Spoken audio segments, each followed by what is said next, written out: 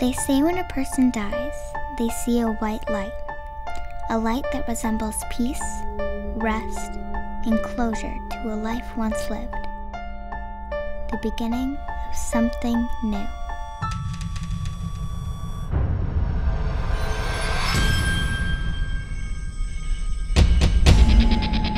Sometimes, a past soul may hang on to its former world. The reasons why may never fully be known, but they may linger here for a very long time. We call that